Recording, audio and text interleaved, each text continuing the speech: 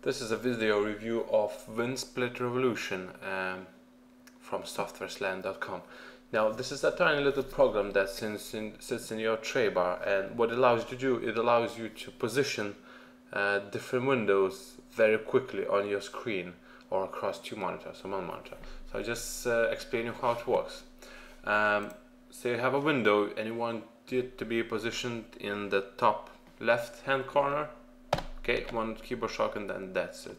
Lower right lower left upper right full screen and so on and so on.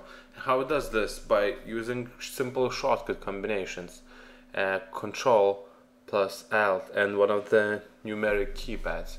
And that's actually the have a list of the shortcuts here. Okay hotkeys. Now left right control alt number 6 okay let's try that. Yeah very handy if you have uh, if you want to run more than one program if you have a widescreen monitor or if you have two two monitors like I do it's actually very handy and it's it's very very easy to uh, arrange different windows. And you can actually even remember uh, different win different window settings for different programs. So once you run it bam automatically in its place. So this is how it works, nifty little program, and uh, well, I hope it helps you. There's been a video review of WinSplit Revolution from SoftwareSlant.com. Good luck.